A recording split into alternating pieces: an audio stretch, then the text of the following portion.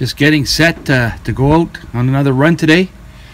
And uh, it rained last night here, and now this morning it's starting to snow again. So it just never seems to uh, to really want to stop. It's always continuous.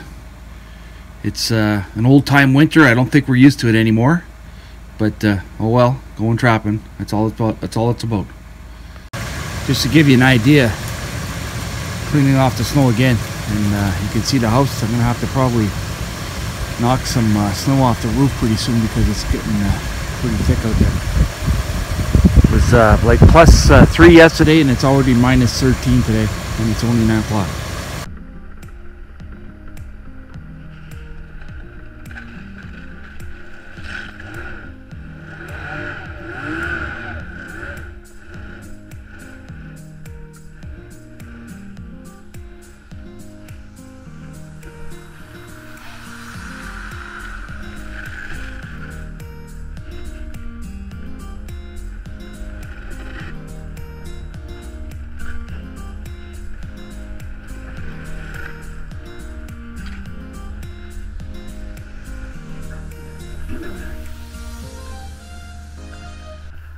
Over the bank and stuck right away.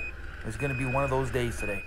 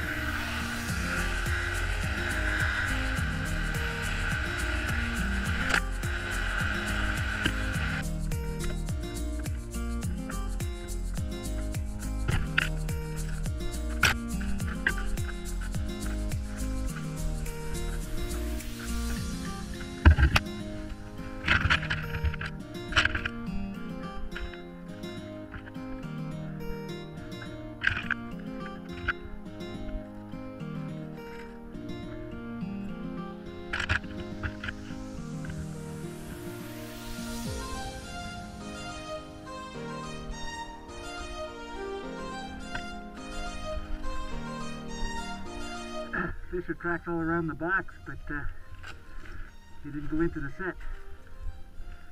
Had a big rain last night, rain for like two hours. Hard crust today. Need to bring my snowshoes.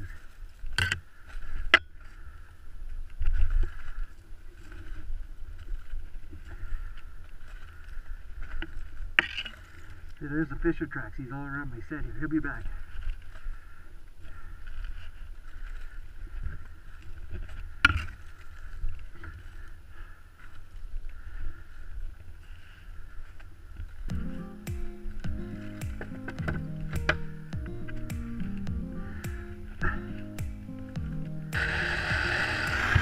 Watch what happens when you're running on a crust on the lake.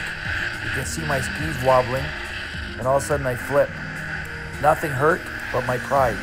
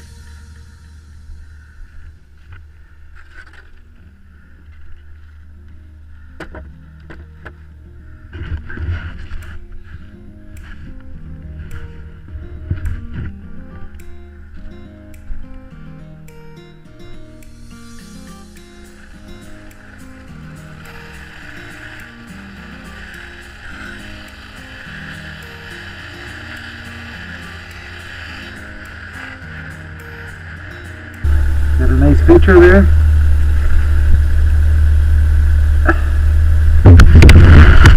Running around all day and uh, finally got him in the set there.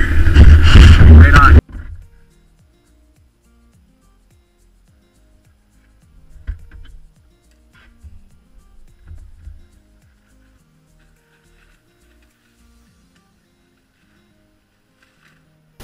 One of my running pole sets with a 160. Nice catch today.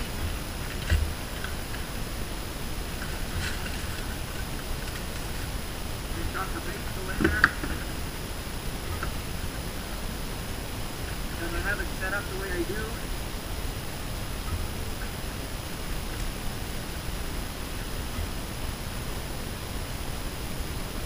This guy was just caught today, he's still fresh, not even frozen. I can easily take him out of the trap and reset it. So that's what it's all about, catching a nice prime winter uh, fisher. Set specifically made for it. The one thing I noticed that because of the snow buildup, he's touching the ground. So I'd like to shorten my wire on my next, uh, my next time I set it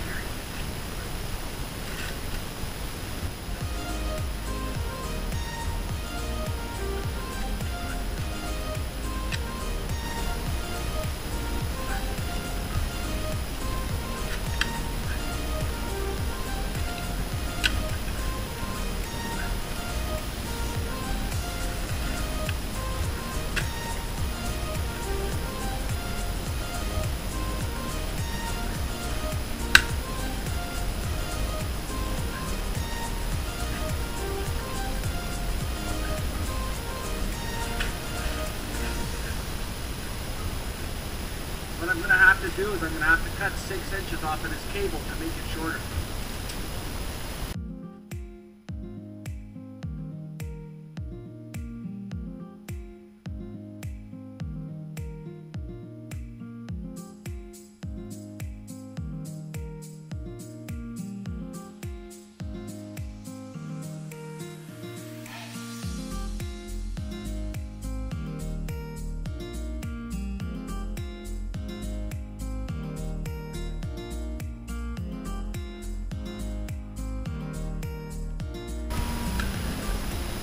Always use a trap setter. It's so much easier. Not that I can't do it, it's just that it's so much easier to be able to do it like this.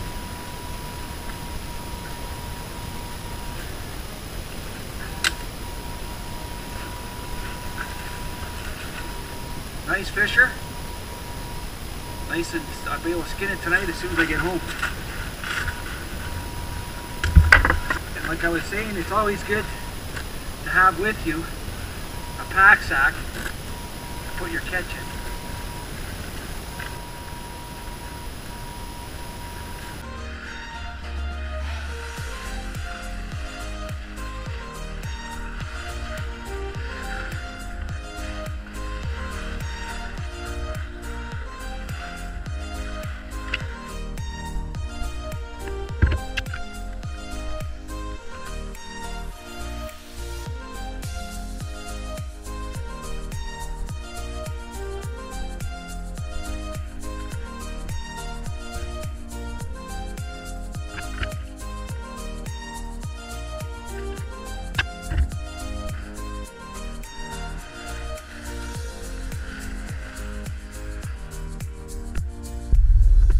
I think it's important to stop at each set, knock all the snow off, and re-lure. It's important to make sure your sets, you, to check each one so that your sets have bait, lure, and no snow on them. You never know when the opportunity, and you don't want to miss an opportunity when an animal comes by and your set's buried in snow.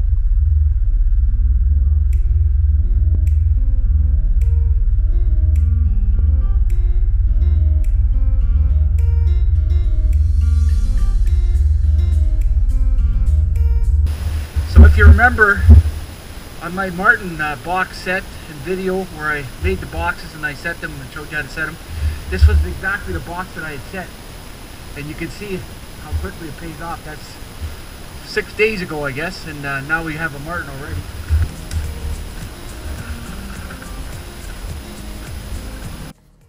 a nice double body catch. Pretty impressed with the fact that we just set this box six days ago and now we caught a marten. Shows you the importance of the details like the running pole and call lure. On this set, I had used uh, Fergus uh, Traps MP number five Marten Fisher lure. Worked out like a like a charm.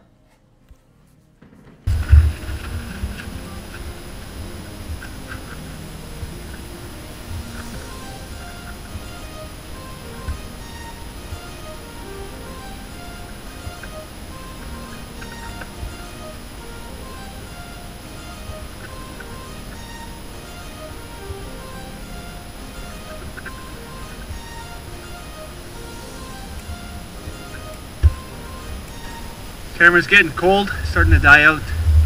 But uh, anyways, that's uh, my last set. So Marten and the Fisher today. Pretty stoked. Always a good day when you, when you make a catch. Better than my Timmins run. is you see how the trees are all glazed and there's a real hard crust now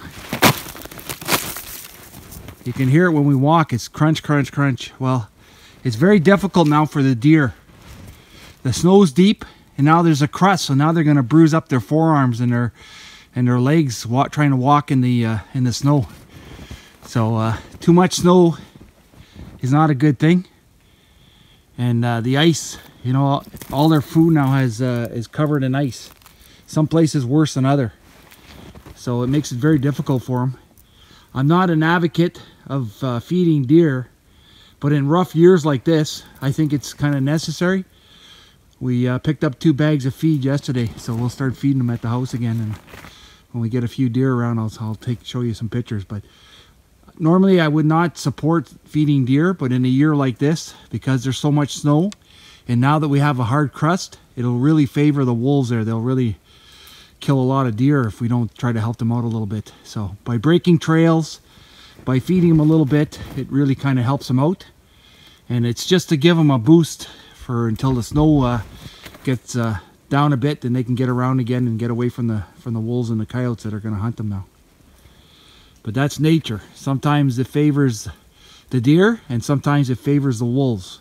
right now the balance has shifted over to the wolves because now they can run on top of the crust and the deer are going to be floundering in the snow and they're going to have a hard time getting food so they're going to get weaker